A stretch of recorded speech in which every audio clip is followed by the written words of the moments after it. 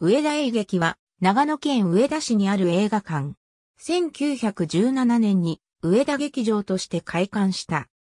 セムコーポレーションが運営する映画館としての定期上映は2011年4月に終了し、その後は自主上映会の会場や貸し館として使用されていたが、2017年4月15日には NPO 法人上田映劇が運営するコミュニティシネマとして定期上映を再開した。270席の1スクリーンを有する。現在の上田映劇の場所には、明治時代から末広座という芝居小屋があったが、1917年に演劇場の上田劇場が開館した。上田劇場に続いて、1919年に上田演芸館が、1921年に上田電気館が開館している。上田劇場には1923年の関東大震災で消失する前の旧帝国劇場と同じ作りの各天井があり、桟敷、可動、周り舞台などもあった。開館時には帝国劇場の専務取締役である山本久三郎から祝福の書面を受け取っている。開館当初は歌舞伎の興行などを行っており、大正時代には信濃黎明会の結成式の会場となったり、県政会所属の衆議院議員である尾崎幸雄の講演が行われたりもした。映画セット、花屋敷通りにある上田演劇昭和初期には、駒崎哲五郎が上田を訪れて、上田劇場を買い取り、映画館に改装して映画を上映するようになった。上田映画劇場に改装したのはこの時である。上田演劇となってからしばらくは芝居と映画の興行を交互に行っていたが、戦後には映画専門の劇場となった。昭和30年代から40年代には全盛期を迎え、2本立て、3本立てなどで毎週新作を上映した。上田演劇に休館日はなく、ホールに入る観客で長蛇の列ができるほどの人気だった。入り口の左側と右側それぞれに切符売り場があり、切符の販売員、切符もぎり、映写技師2人、清掃員など常時5から6人の従業員に加えて支配人がいた。駒崎哲五郎は1960年代に上田ロータリークラブの幹事を務めている。全国の映画館数がピークを迎えた1960年、上田市には7館の映画館があった。1973年に改修工事を行って、現在の姿となり、大英や松竹の作品を中心に、洋画の上映も行った。2011年の閉館時に支配人だった駒崎隆が大学生の時に上映したエクソシストは近所の高校で前売り券を売るなどしてヒットしたという。しかしその後はビデオや DVD の普及によって観客数が低迷した。1995年には音響や照明の設備を一新し、ライブや演劇が可能となった。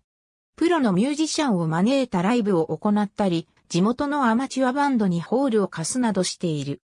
運営するセムコーポレーションは上田演劇を自主上映会の会場として提供したり、独自にイベントなどを開催するなどして映画館の存続を図った。2011年以前の上田演劇は全席自由席だったが、2階席は1階席の料金プラス200円であり、必ず2階席に座る常連客もいた。閉館の要因となった東方シネマズ上田2000年代には多数のスクリーンを有するシネマコンプレックスの開館ブームが起こり、長野県内では2000年には東千曲郡山形村に6スクリーンのアイシティシネマが2008年には松本市に8スクリーンのシネマライツ8が開館。松本都市圏だけで2つのシネコンが開館したことで、松本市中心部の映画館が相次いで閉館している。2005年に創業を停止した日本タバコ産業上田工場跡地に東方シネマズ上田を含む大型ショッピングセンターの有尾上田を開業させる計画が起こった。2011年4月21日の東方シネマズ上田会館を前にして同年3月9日にはセムコーポレーションが上田演劇と上田電気館の定期上映を同春で終了することを決定した。両館の観客数は近年は計3万人と低迷しており、1000万円以上かかるデジタル上映設備に投資が困難であることも閉館の理由だった。閉館時の座席数は280席だった。上田ムービーシアターと浅草、雷門ホールの看板上田演劇は広い舞台があるため、不定期に演劇や音楽ライブを催す劇場に転換された。4月以降には上田市民有志が自主上映会を企画しており、上田城下町映画祭実行委員などが中心となって映画館としての存続の道を探った。この頃には長野県のご当地アイドルユニットアップル学園応援部が誕生。2011年7月10日に上田映劇でお披露目を行い、以降も定期的なライブ活動を行っていた。2012年からは上田市民有志が企画する、そうだ。お町へ出かけようの一環で、上田映劇で名画を上映する企画を行っており、2013年7月20日には、キューポラのある町の上映に、年配者ら100人以上が集まった。2014年に公開された映画、晴天の霹靂のロケは、2013年8月に上田映劇などで行われた。上田演劇の建物は、劇中で浅草、雷門ホールとして登場する。ロケ地となったことを記念して、撮影の際に建物正面に設置された浅草、雷門ホールの大看板はそのまま残されている。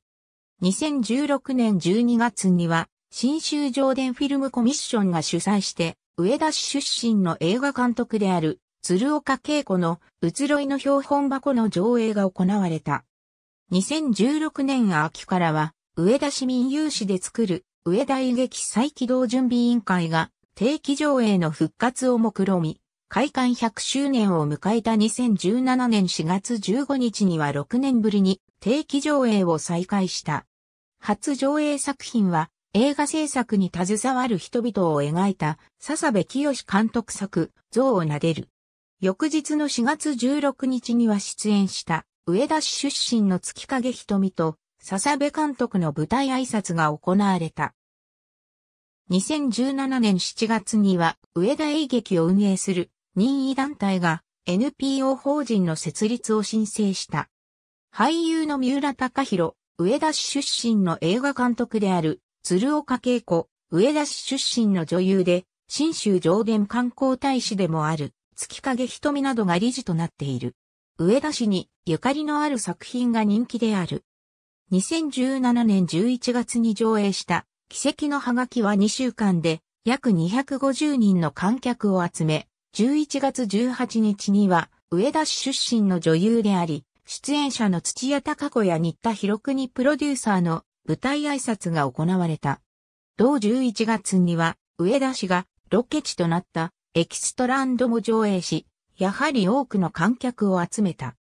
2018年6月からはエキストランドの再々上映が行われ、6月30日には、坂下雄一郎監督や出演者である、吉沢優や金田明の舞台挨拶が行われた。2020年には、近隣の上田電機関が、トラウムライゼと改名して復活。共通の運営者による一体的な営業が行われている。改修工事などは言っているものの、1917年の開館当時の木造2階建てを維持しており、270席の1スクリーンを有する。1階部分に189席、2階部分に81席がある。スクリーンと客席の間には縦4メートル横9メートルの舞台を有する。舞台の左右にはそれぞれ18平方メートルの楽屋が2室ある。2017年4月15日の定期上映再開後、主に1作品を2週間のサイクルで上映している。2017年12月時点で1作品あたりの観客数は平均70人であり、目標の100人には届いていない。観客の半数はシニア層であり、特に夜間の上映会は観客が少ない。目標の集客数には届いていない。年会費1万円で座席のネームプレートを取り付けられる特別会員は2017年12月時点で76人であり、特別会員だけが購入できる年間パスポートは41枚が販売されている。ありがとうございます。